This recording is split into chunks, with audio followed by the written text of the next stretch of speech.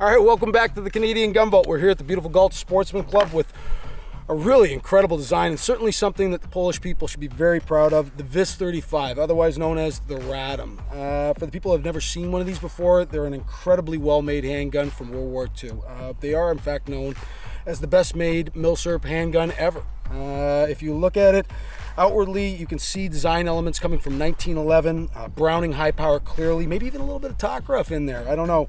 But uh, ultimately, uh, a really pleasant shooter, and certainly one that has a great story behind it.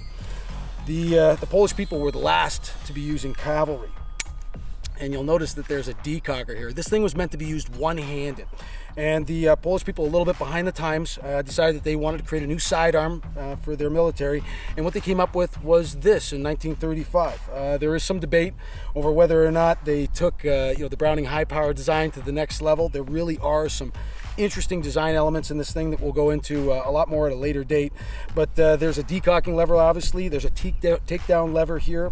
Uh, you can't disassemble this, pick this pistol without pulling on the guide rod. And then, of course, the slide stop falls free. It's really, really a cool design. I'm going to load up another magazine here and uh, shoot it a little bit more. Of course, the famous story uh, behind the Radom is that the uh, Polish people, of course, uh, had been annexed uh, by the uh, German government. The Nazis had taken over their territory and they were forced to build these pistols. Uh, the original pistols that were made in 35 and 36 were known to be the absolute best. Uh, the finishes on them were fantastic and the fit and finish were second to none.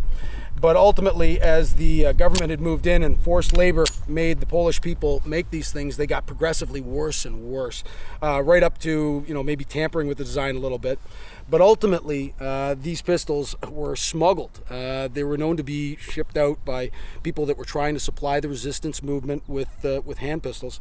And when, of course, they realized that the uh, Polish workers had done that, they took 12 people out of the random people, I might add out of the work group and executed them in front of everybody. And uh, certainly a testament to the uh, Polish people's willingness to fight evil.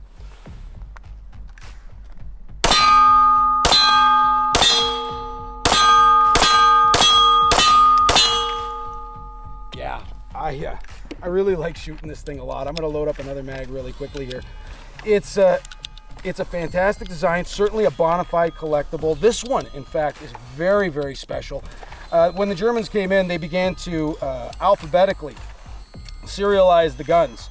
Only the earliest Polish Eagle uh, guns got no serial number without an alphabetical number in the serial number.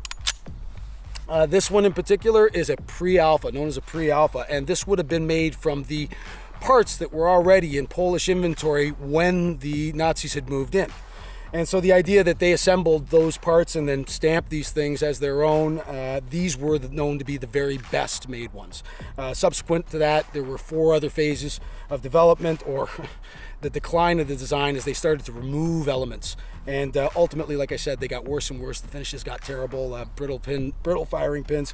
But uh, ultimately, really a great shooter with this triangular grip, which really appears, I'm sure, to a lot of people to be odd, but feels fantastic in the hand. I'm going to try a little one-handed firing here again, the way it was meant to be shot.